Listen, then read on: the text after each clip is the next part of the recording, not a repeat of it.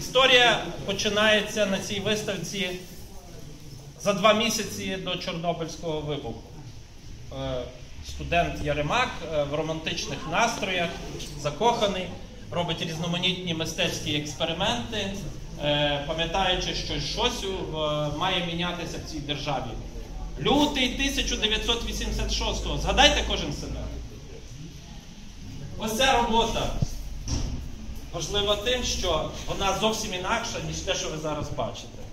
Колись тоді, пам'ятаєте, в наші ті давні часи, ми всі дуже любили, коли були ідеальні поверхні. Ми тішилися, та й то тепер тішимося, коли поверхня автомобіля ідеально блискуча, досконала. І цього було дуже мало у нас тоді.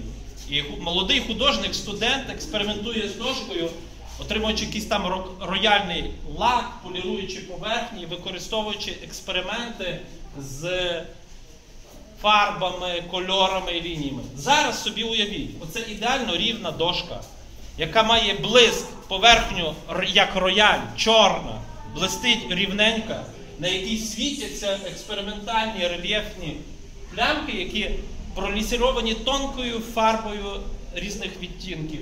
І ця річ практично світиться, вона досконала і унікальна, тільки брутальна за насиченням, бо це експеримент. Отже, це перша робота двоє. Їй 30 років. Зараз вона виглядає так. Експеримент з часом.